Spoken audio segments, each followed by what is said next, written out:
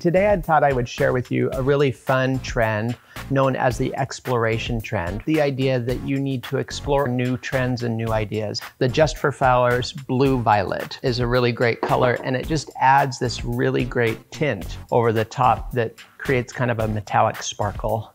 I've utilized these variegated ti leaves. Some of them I've curled over to create some movement. Others I've used whole.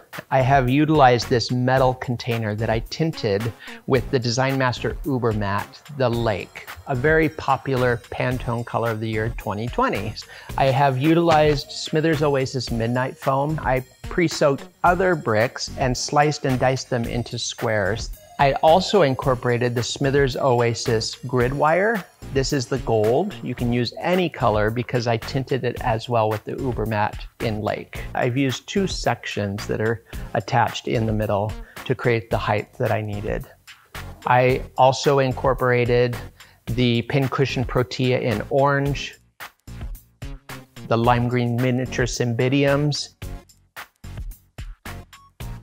and then these spectacular garden roses, they're called Baroness by Alexandra Roses. I received them about five days ago. They've opened incredibly, and I believe they will last another five to seven days. Next, I used the Craspedia, and I've layered some inside of the cage, and then I've created vertical height going through the design. Craspedia is from Royal Flowers, and it's absolutely mind-blowing beautiful.